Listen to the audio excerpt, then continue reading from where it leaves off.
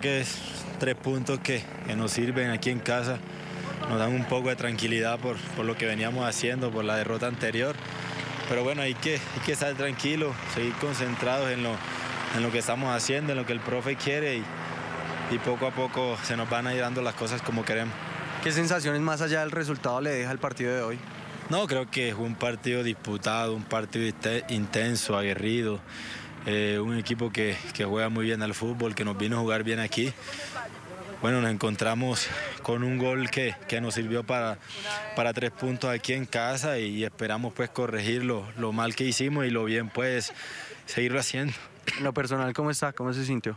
No, bien, bien, bien, tranquilo, eh, con ganas de, seguir marcando con, con, esta, con esta institución, con este equipo, eh, con ganas de, de seguir sumando puntos, seguir sumando minutos y esperemos pues ratificar lo que hicimos el semestre pasado.